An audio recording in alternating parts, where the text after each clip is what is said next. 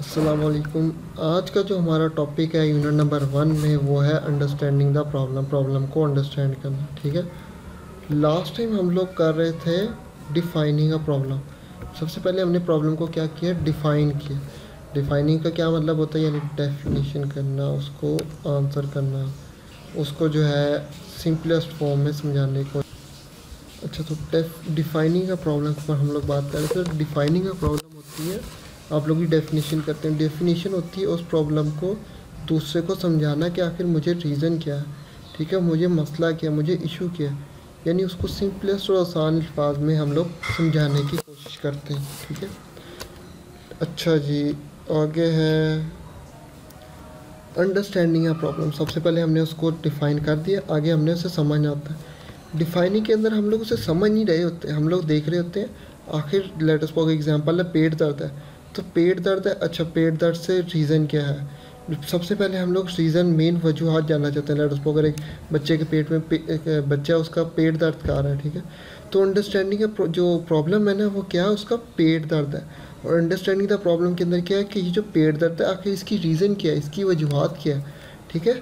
तो ये हमारे पास है। आप लोग प्रॉब्लम अंडरस्टैंडिंग में थोड़ा सा रिलेशन कॉन्टैक्ट रखें, ताकि हमें पता हो। It is important to understand the problem before jumping into the solution of a problem सबसे पहले हमें प्रॉब्लम का पता होगा अच्छा ये प्रॉब्लम फिर हम उस प्रॉब्लम को समझेंगे कि आखिर ये प्रॉब्लम है क्यों? किसकी वजह से? क्या रीज़न है? क्या कॉजेज़ है?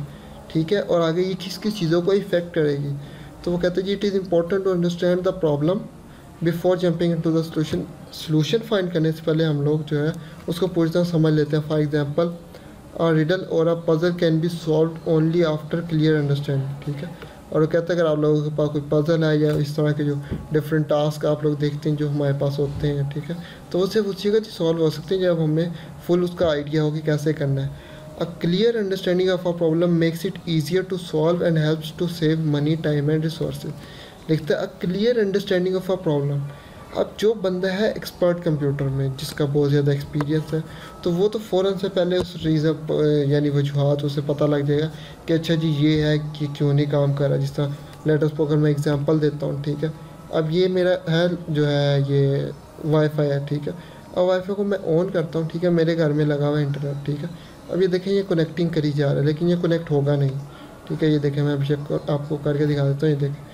ये कनेक्टेड हो रहा है, लेकिन ये लिखा आ रहा है can't connect to this this network लेकिन कई दफ़ा ऐसा भी हुआ है कि ये same same laptop same network यानी कोई इंटरनेट मैंने चेंज नहीं किया सेम के साथ कनेक्ट होता है, लेकिन अभी नहीं कनेक्ट हो रहा, ठीक है? तो ये बताने का मकसद ये है कि जो हमारे पास अंडरस्टैंडिंग द प्रॉब्लम होती है, इसके अंदर हम लोगों ने हंड्रेड परसेंट देखना होता है कि वजह रीज़न क्या है कॉजेज़ क्या है आखिर, इसका इशू क्या है, ठीक है? तो अब जो एक्सपर्ट बंदा है, उसे तो पता लग जाएगा अच्छा ये देखें हम, ये देखें कनेक्ट हो गया ना। पहले ही लिखा आया था अनेबल टू कनेक्ट ठीक है? तो ये हमारे पास इस तरह जो है इश्यूज़ आते रहते हैं। तो इसको हम लोगों को फेस करना चाहिए, या इसको जो है सॉल्व करना चाहिए। तो हम अपने ज़रा टॉपिक की तरफ़ आ जाते हैं। वो कह रहा था clear understanding of the problem make it easier to solve and helps to solve और जो हमारे पास एक एक्सपर्ट होता है लिस्ट लेट सपोज़ ये है। अब यहाँ पे आप लोग देख लें कि ये जो है, इसका, ये ये इसके नीचे लाइन है। हालाँकि ये ऐसा भी हो सकता था कि जी ऊपर चला जाता और लाइन पूरी नीचे आ जाती, लेकिन ऐसा नहीं हुआ। क्योंकि जो एक एक्सपर्ट बंदा है, उसे पता है कि किस तरह हमने इसको अलाइन करना। ठीक है, अब ये आप लोग देख लें ये डेट ऑफ़ बर्थ ये वन से लेकर से सिक्स तक ही मैंने लिखी है, या इस तरह। इसी तरह मंथ हमारे पास सिर्फ़ थोड़े लिखे हुए और ईयर भी थोड़े लिखे तो यहाँ पर जो हमारे पास ये जितनी चीज़ें हैं ये with the passage of time हमें पता लगता है कि किस तरह हमने इसको सॉल्व करनी है, इसको अंडरस्टैंड करनी है, किस तरह इसको हल करनी है। लिखता ये clear understanding of problem make it easier ठीक हो गया। Understanding of a problem usually includes identification of the five W और प्रॉब्लम को अंडरस्टैंड करने के लिए हम लोग फाइव डब्ल्यूज़ का इस्तेमाल कर सकते हैं। फाइव डब्ल्यूज़ कौन से हैं? What who when where and why ये फाइव डब्ल्यूज़ आप लोग इंग्लिश में भी पढ़ चुके हैं और यहाँ पर भी। आगे कहते हैं जी problem analysis is the process to figure out these five डब्ल्यूज from a problem statement अब वो कहते हैं जी वट सबसे पहले हम लोग कोई भी प्रॉब्लम करेंगे तो हम कहेंगे, आखिर वजह क्या है? और हु किसकी वजह से, कब हुई, कहाँ हुई, और इसकी क्यों हुई? ठीक है तो फाइव डब्ल्यूज में हम लोग देखते हैं कि एक प्रॉब्लम है, क्यों हुई, किसकी वजह से हुई, क्या रीज़न है, क्या वजूहत है, ये फाइव डब्ल्यूज़ में आते हैं। These are the basic elements which lead towards the solution of a given problem और हमें पता लग जाता है लग जाए एक दफ़ा कि किसी भी रीज़न किसी प्रॉब्लम किसी भी इशू में क्यों है, किसकी वजह से है, कहाँ से है, ठीक है? तो हम लोग उसको इजीली क्या कर सकते हैं? सॉल्व कर सकते हैं। तो वो कहता है, जी वर्ड क्या कहता है? लिस्ट ऑफ़ स्टूडेंट्स सेम अच्छा यहाँ पे वो कहता है, वही can analyse this problem by identifying five डब्ल्यूज in the problem statement as given below what let us suppose example दे रहा list of students same starting with letter A अब हमारे पास जो है एक टास्क कह लें कि जो है हमें दिया गया कि पूरे स्कूल के अंदर या हमारी क्लास के अंदर जो स्टूडेंट्स हैं, जिनका नाम ए से शुरू होता है आपने, वो बताना है। हो अच्छा किस किस के बताने हैं आप लोगों ने? स्टूडेंट्स के बताने हैं टीचर्स के बताने हैं एडमिनिस्ट्रेशन के बताने हैं स्टाफ के बताने हैं प्रिंसिपल्स के बताने हैं, या कमेटी के बताने हैं, या फिर चेयरमैन के बारे में बताने हैं। आगे why to prepare the directory of the student आखिर हम लोग ये क्यों ऐसे स्टूडेंट्स का नाम कलेक्ट कर रहे हैं, जिनका नाम ए से शुरू होता है? और वैन कब तक हम लोगों ने काम करना है विद इन अ वीक यानी एक हफ़्ते के अंदर हम लोग ने सारे स्टूडेंट जिनका नाम ए से शुरू होता है, वो कलेक्ट करना है। क्यों करना है? क्योंकि हमें ऐसे स्टूडेंट का हम रिकॉर्ड रखना चाहते हैं, हम जानना चाहते हैं कि क्यों है, ठीक है? आगे और वेयर कहाँ से करना है? अपने स्कूल से करना है, अपनी जो है स्ट्रीट से करना है, अपने मोहल्ले से करना है, लाहौर से करना है, या फिर आउट ऑफ़ द कंट्री करना है, या अपने कज़न्स के नाम से करना है, या फिर मेल का कलेक्ट करने हैं, या फीमेल्स के कलेक्ट करने तो ये हमारे पास जो है ना, ये किसमें आ जाता है? अंडरस्टैंडिंग द प्रॉब्लम के अंदर, ठीक है? तो ये था हमारा प्रॉब्लम सॉल्विंग का जो है यूनिट नंबर वन में हम बात करें प्रॉब्लम सॉल्विंग और उसमें हम लोग प्रॉब्लम सॉल्विंग स्टेप्स की बात करें तो उसके अंदर आप लोगों के पास ये जो है ना, ये दूसरा एक्चुअली था पॉइंट था। तो ये हमारे पास उम्मीद करता हूँ कि आप लोगों को डिफाइनिंग अ प्रॉब्लम और अंडरस्टैंडिंग द प्रॉब्लम के अंदर जो है वो समझ आ चुकी होगी, ठीक है?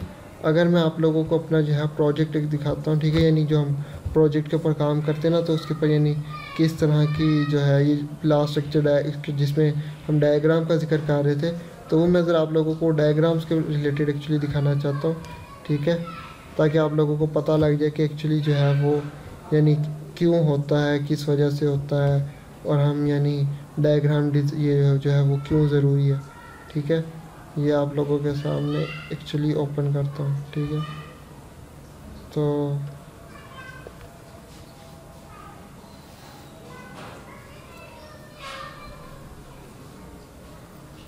एक्चुअली इन मल्टीपल टैब्स जो हैं वो ओपन है, जिसकी वजह से इसको इतना टाइम लगा। अच्छा तो ये देखें डिज़ाइन डॉक्यूमेंट डिज़ाइन क्या होता है? किसी भी घर का या किसी भी चीज़ का हम डिज़ाइन बनाते हैं। अगर मैंने घर बनाना है तो हम सबसे पहले उसका क्या बनाएँगे? डिज़ाइन तो डिज़ाइन में हम देखते हैं कि आखिर घर बनेगा कैसे? कौन कौन सी जगह पे क्या क्या चीज़ बनानी है? कितनी हाइट होनी चाहिए? कित, कौन सा कलर होना चाहिए? कौन सी हम लोगों ने वॉल जो है सीलिंग इस्तेमाल करनी है? अब यहाँ पे देखें रिवीजन हिस्ट्रीज का आपसे भी कोई काम नहीं है। तो यहाँ पे देखें टेबल ऑफ़ कंटेंट यानी डिज़ाइन में हमने क्या बनाना होता है? Introduction of design E R diagram यानी ये भी एक तरह की डायग्राम सीक्वेंस डायग्राम ये भी एक डायग्राम है आर्किटेक्चर डिज़ाइन डायग्राम ये भी एक डायग्राम यानी मैं डायग्राम से सिर्फ़ ये बताना चाहता हूँ आप लोगों को कि ये जो हमारे पास डायग्राम्स हैं, वो कितनी इंपॉर्टेंट है। क्लास डायग्राम उसके बाद डेटाबेस डिज़ाइन इंटरफेस डिज़ाइन तो ये आप लोगों ने देखा, हमारे पास एट केसेस में से फाइव टू सिक्स जो है वो डायग्राम से रिलेटेड थे। इसलिए डायग्राम जो है वो किसी प्रोजेक्ट के स्टार्ट में हम लोग बनाते हैं। इसलिए आप लोगों से कहा गया था कि जो है हमारे पास जो आप, हमारे पास डिज़ाइन है, या जो इमेजेस हैं वो क्यों इंपॉर्टेंट है। आज के लिए इतना ही। इंशाल्लाह आप लोगों से नेक्स्ट लेक्चर में मुलाकात होती है। खुदा हाफिज़।